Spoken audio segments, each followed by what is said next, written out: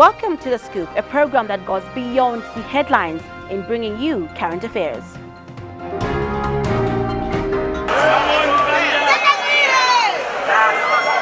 Catherine Phiri refuses to allow success and fame divert her focus on education as she goes back to the classroom looking forward to write examinations.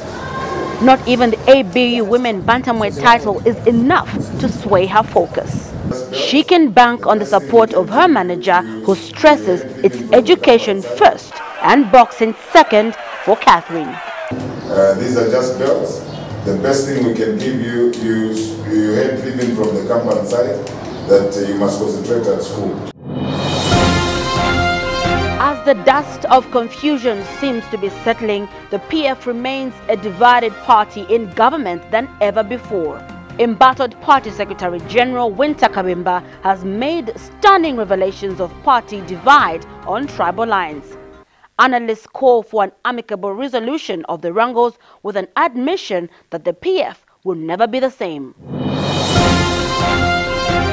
After five years of being a commercial sex worker, a young Namibian woman has vowed to help other sex workers by offering them a better life through a project called King's Daughters. Namibia's capital, Windhoek, has seen an influx of sex workers in the past decade. Join us as we follow this woman on her journey to make Namibia a better place.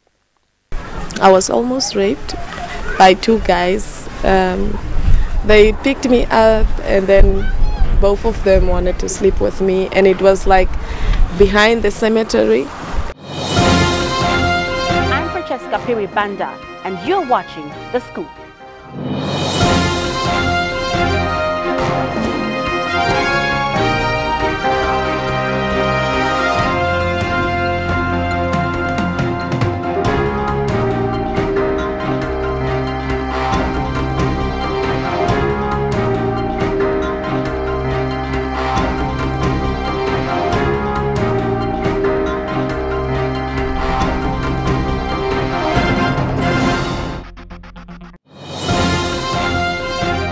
A near-death experience, a Namibian sex worker decided to turn her life around.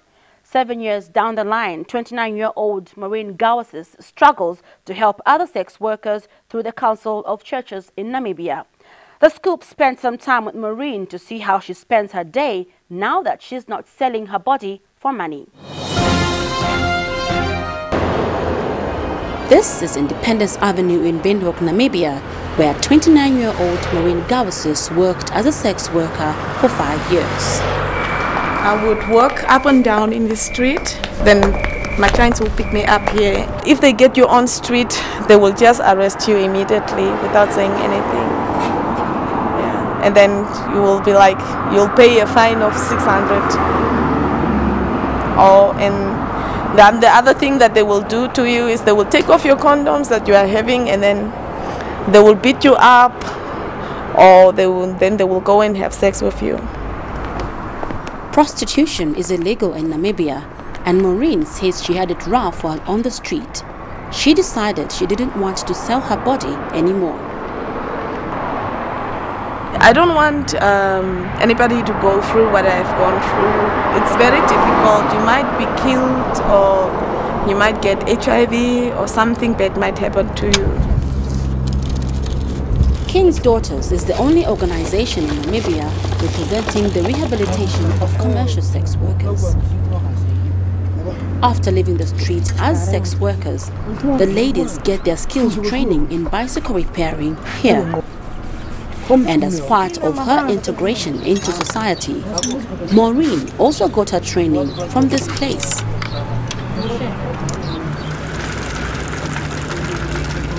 The men who work here help train the ladies in bicycle repairing skills. Maureen says her work is easier because the men are helpful. Okay, um, men who who we get um, who is working with us here, they also know our background and they have been sensitized about because uh, about us. And um, they've been told that um, they, they they just got the job because they have to help us like with heavy stuff. Whenever we get stuck, then they have to help us to load off and so on. Founded in 2006, King's Daughters organization is being run by Esme Kingston under the auspices of the Council of Churches in Namibia. Esme says a group of sex workers approached her saying they wanted to be rehabilitated. There was um, five, six sex workers, female sex workers, who decided that they do not want to sell their bodies any longer. They want to um, come to CCN, this, this place where we are, the Council of Churches, which represent the church in, in, in, in, in the whole um, of Namibia. And they came here to ask for help because one of them, the lady who initiated the idea, she felt pregnant on the street and realized that she couldn't raise that little child on the street and the, that she needed help um, when she shared her idea with the rest of the ladies under the bridge, they said, but we also want to make a change. Let's go together. How are things here? Let me greet you African way. how are you doing? I'm. Thank you. So, how is things here? Uh, we are doing well. Okay. We are just having few bites of the clients. The ones with the papers belongs to the clients. Okay. Um, Esme has to ensure that the bicycle shop has enough bicycles to be worked on, as it's the only way the organization can pay wages to reformed sex workers working here. They are just ready for sale. Maureen only works at the bicycle shop once in a while, and thanks to Esme, she now has a job with the Ministry of Health as a community liaison officer. This is Okahandja Park, where Maureen lives with nine members of her family, who all depend on her for their livelihood. Although it's not big enough for the whole family, Maureen is thankful that she has a roof over her head through an initiative of King's Daughters.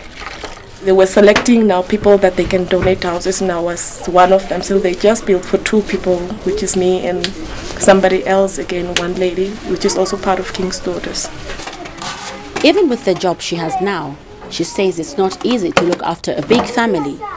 At the moment, Maureen is the only one responsible for the whole family as she's the only one who has a job.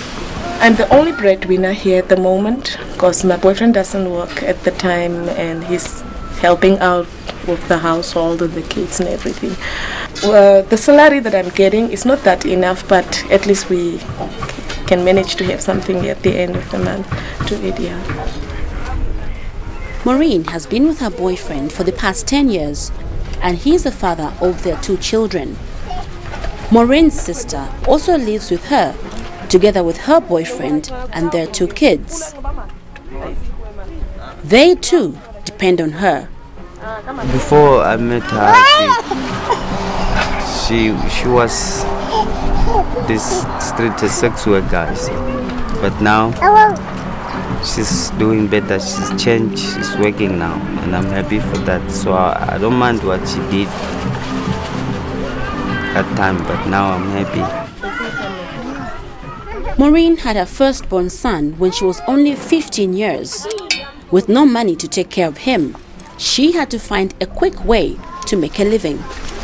I decided to uh, drop out of school and start to take care of my son son because I didn't have school I mean enough education and so for me it was very difficult to get another job so I st- my friend introduced me to the prostitution is how I started I was almost raped by two guys um, they picked me up and then both of them wanted to sleep with me and it was like behind the cemetery and it was dark, very dark, and so I just lied to them that I have to go, and then I ran.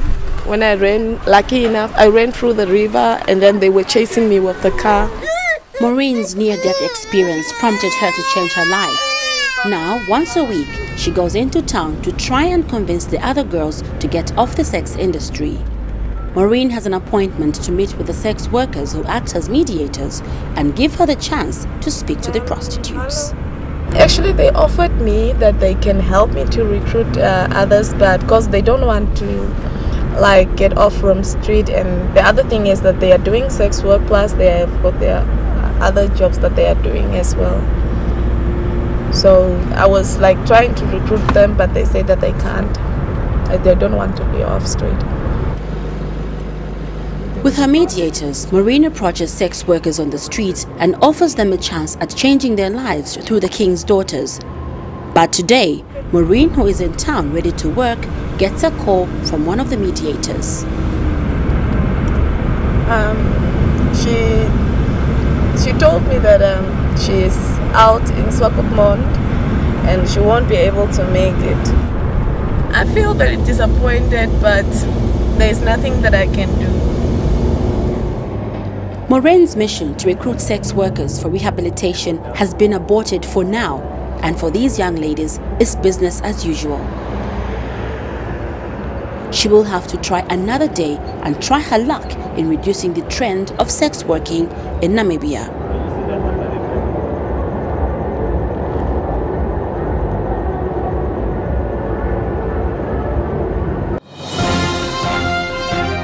Construction works at Palabana University in Chongwe district are moving at a snail's pace.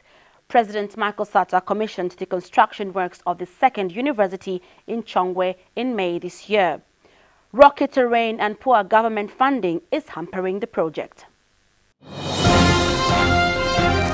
Palabana Dairy Farm College is to be transformed into a university. On May 17, 2013, President Michael Sata led hundreds of people in witnessing the laying of the foundation stone for the construction of Palabana University.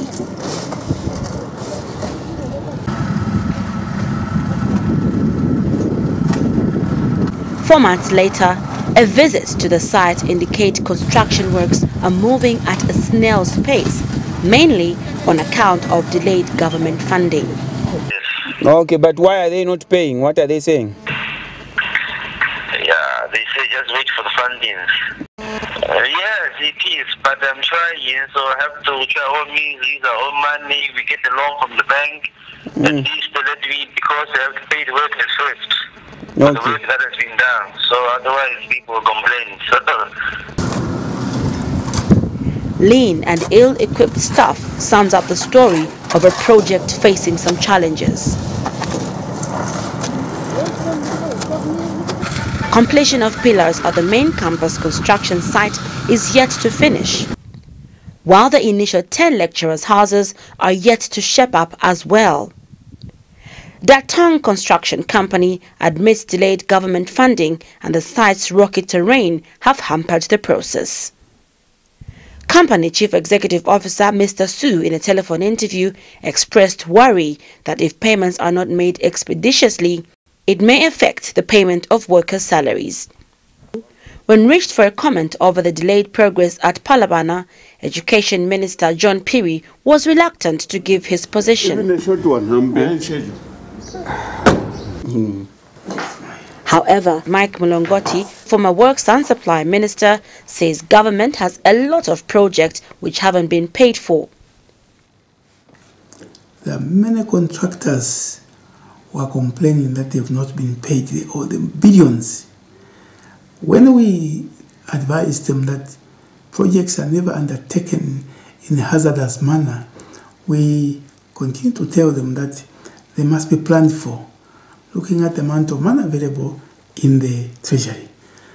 But they thought we were jealousy and we didn't want to uh, make them do their work. What is done is that they went out and dished out projects like confetti. What has happened now is that they could have helped them with some mobilization resources. Now, completion certificates have come and there is chaos. There is no money to pay contractors. The consequence of that is that the contractors won't be able to pay their workers, the workers will be in the street, and the so-called promised jobs that they were boasting about will be nothing. The upgrading of Palabana Dairy Institute is a welcome move, but what is clear is that the construction will not be done anytime soon if it continues at the current rate. See, the treasury is not a bottomless pit there are other social needs that are calling on the same little resources that are there. And the Zambian economy is not as large as they might have imagined when they went into office. They must have taken caution, exercised prudence, exercised careful planning. And I can tell you along the way, you will see the consequence of this. The Treasury, I do not think you will have the capacity to withstand the pressure on the demands that are going to come. But if they choose the easier way, by either printing money or jumping on the Eurobond, the consequences will still come. Well, the Eurobond is a debt which must be paid, and so intended to be invested in the productive sector of the economy and not for consumption purposes. I know the chances that they are going to pounce on that if they've not already done that, which is very unfortunate. New female boxing sensation Catherine Phiri faces another hurdle days after bagging her latest crown. Now, Catherine may be receiving goodwill after winning the ABU Women Bantamweight title, but her desire is education. She will be among thousands of grade 9 pupils across the country writing their examinations.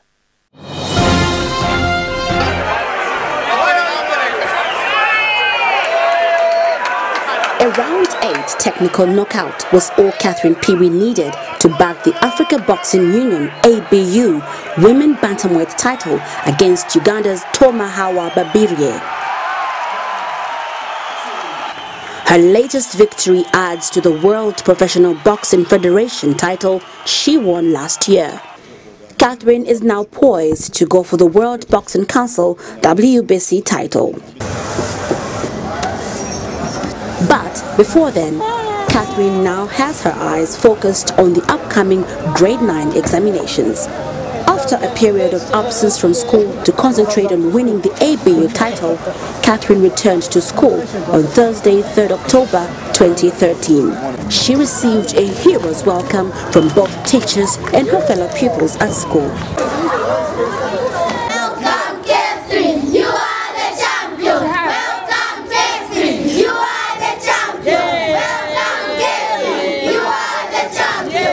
Manager, Chris Malunga, was there to hand her over to the school authorities. She's back into school. Our motto must remain the same that she's a student now, she's not a champion. She should be treated the same way as others. And um, please let's work together the way we have worked together to make sure that she passes her, her grade 9 exams. If it means uh, the same way of extra tuitions, she has to do it uh, because she has to pass. You know, it, it won't augur well if she fails the exams for the school and even for us. The school administration is aware of the task ahead to adequately prepare Catherine for more successes this time around in her grade 9 exams. And we are promising to do everything possible to make her pass her exams. We are going to ensure that we continue with her extra tuitions in the afternoons as the friends uh, maybe leave. We're going to remain with her, give her all she has missed, all she need to do, she needs to do, and uh, just help her pass the exams. Because we'll be happy if she passes the, the exams. Of course, as a school, we might not be happy if she doesn't do well. So we will do everything possible to ensure that she just passes with good marks. Outside the boxing ring and the classroom, Catherine is a second born child in a family of six, two brothers and three sisters. Before having an interest in boxing, Catherine first set off as a football player. Okay, I started boxing as a it was like a joke because uh, I was I was I, I used to stay here with my parents and then I had to shift. I went to stay with my grandmother at Mandevu. That time I was playing football. And then I said, ah, I was bored home. And then I was like, let me just go to Independence Stadium, see if there, there's something I can find there. And then I went there, I didn't find the team. I only saw the boxing gym. People were training, boys and girls. I said, ah, let me see what they're doing there. Then I, when I walked in into the gym, I found that it was boxing. And I, I was like, ah, even I can do it, let me try this one. And then I, I talked to Mr. Sekeleti, the coach of the gym. He was like, ah, okay, come on Monday.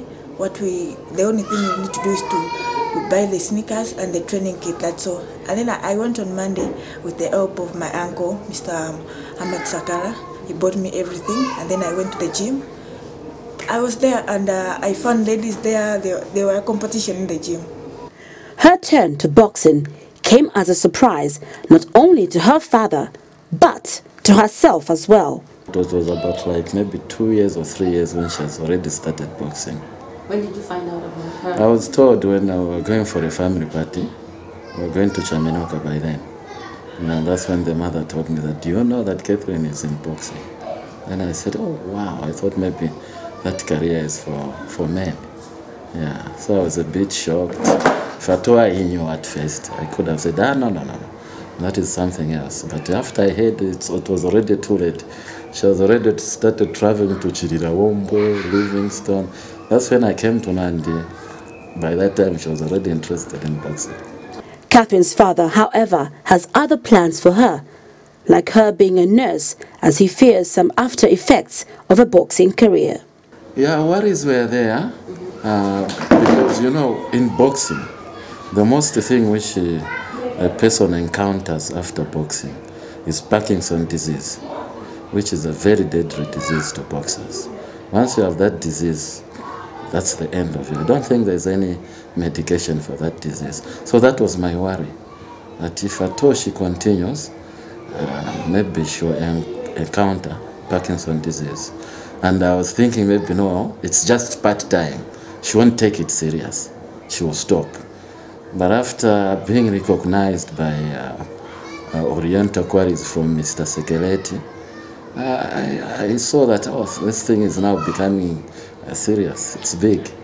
Okay? So the worry is still there because, uh, okay, if there's proper medication, that is okay. But if there's no proper medication, the worry still uh, lingers in the mind, saying that what if that disease uh, comes? Catherine is assured of her family's support in her rising boxing career, a career which has not been devoid of ups and downs. My low point was uh, during this fight uh, when I won. Uh, I remember my dad wanted to, to give me a hug to congratulate me, and then my coach refused. That day I was not happy. Yeah, the saddest moment is, uh, you know, I know Catherine is is being handled by other people, by Oriental Quarries. Okay, so when it's being handled by Oriental Quarries, I know I cannot be forgotten as a parent. Okay, and me being a parent, yes, there are other issues or other things which I cannot do better or I can wrong, but I'm sure I deserve some some discipline, some respect. Okay, like uh, what happened, uh, I wasn't happy uh, with uh, what the coach did, Mr. Mike Wivazolo. I wasn't really happy. I was shouted, but I just kept my my temper, and then I just came back home nicely. That was my, I think, my saddest moment in my life. How did you feel when she broke the news to you that she wants to go into boxing? Mm. I was not happy. Mm, so, as time goes, eh, I started becoming happy. Anyway, I feel just fine for her being the champion. And it's just okay. Uh, but right now, my friends have not yet discovered it. But some they know, but they keep on asking me. And I just answer them, she, she is my sister. Okay, you know, these people nowadays, they might think like uh, it's just, uh, maybe you are just boasting yourself. Get along and as the family, we've always been giving her support. Yeah, and she really loves it when we are supporting her. Most of when she's in the ring, then we are busy screaming her name. She's really happy with it. Uh, okay, like when they hear like Catherine is a boxer champion, they think like we've got a lot of money, we are very rich, we can just give out. So we've got some challenges like we meet people, can I- help me with this amount, help me with that. However, Catherine sees her career span a few more years and is excited with the impending goal at a WBC title. I want to face the champion of the the world champion, the one who is having the, the, the BBC belt from uh, is it Australia? Australia, yes. Uh, Susie Ramadan. You think you can take her on? Yes, I can. The only thing I need is uh, proper training, proper camping. I can take on. Me, my aim is when I get the WBC, when I get that belt, and then I'll defend maybe two or three times, I'll be done with boxing.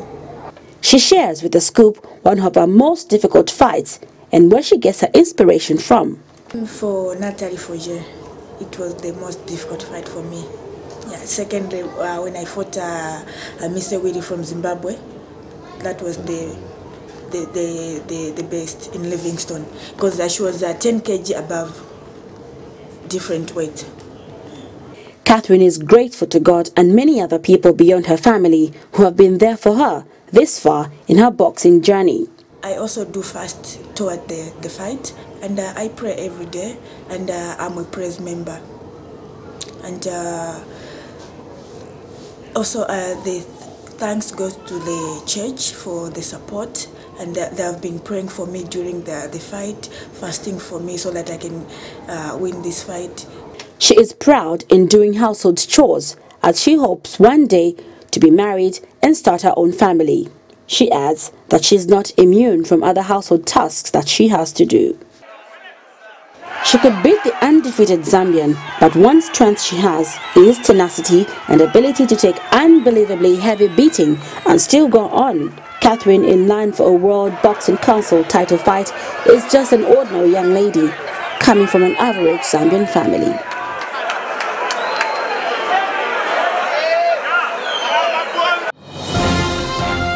Next week, as the dust of confusion seems to be settling, the PF remains a divided party in government than ever before. Embattled Party Secretary General Wynter Kabimba has made stunning revelations of party divide on tribal lines. Analysts call for an amicable resolution of the wrangles with an admission that the PF will never be the same. Well, that's it for our program this week. But before we go, we leave you with the proverb of the week. And this week's proverb says, A leader who does not take advice is not a leader. A leader who does not take advice is not a leader. You can send us your interpretation of that proverb via our text line. All you have to do is type ASK, level space, type your message, and send it to 3322. We'll appreciate any feedback that we get from you. This is where we come to the end of our program. Till we meet again next week at the same time, thank you for the pleasure of your company. Goodbye.